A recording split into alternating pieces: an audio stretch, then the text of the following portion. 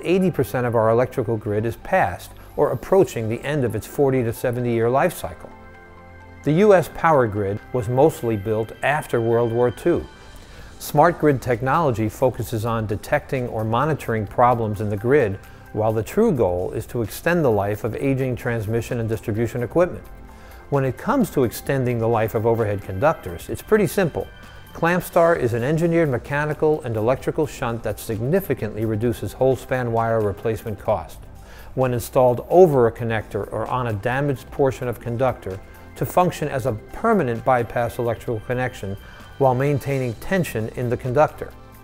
Clampstar is also used to increase the performance of existing splices and other connectors, clamps, and fittings for the purpose of increasing line ampacity that may presently be limited by such devices. Please visit classicconnectors.com.